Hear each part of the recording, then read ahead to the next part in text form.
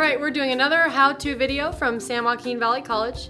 I'm with the medical assisting instructor, Mrs. Torres, and two of her students. I really hate needles, so Mrs. Torres and her students are going to do the explanation of this injection. Jessica's going to be performing a subcutaneous injection. This injection, she's going to choose the back part of the arm, which is the posterior arm.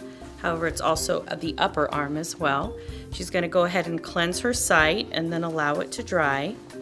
For a subcutaneous injection, it's inserted at a 45 degree angle.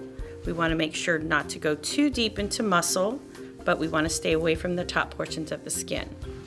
She's going to insert. She's going to aspirate and pull back just a tad to check for any type of blood supply. She doesn't see any, so she'll go ahead and administer her medication. She's going to take it back out at the same angle and then massage her site.